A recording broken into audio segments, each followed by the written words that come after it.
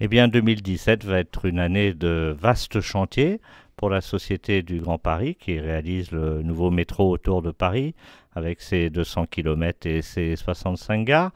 Une année de travaux notamment sur la première ligne, la ligne 15 Sud entre Boulogne-Billancourt et Noisy-le-Grand, 33 km 16 gares et qui va être entièrement en travaux d'ici la fin du premier semestre 2017. Et puis nous allons commencer également les travaux sur deux autres lignes, la ligne 16 entre Noisy-le-Grand et Saint-Denis, et puis la ligne 14 Sud qui va prolonger la ligne 14 actuelle de Paris à Orly. Et puis 2017 euh, sera aussi une année très importante au niveau immobilier puisque euh, nous allons euh, participer à l'attribution des projets sélectionnés dans le cadre du concours Inventons la métropole, 21 sites autour des gares du Grand Paris Express.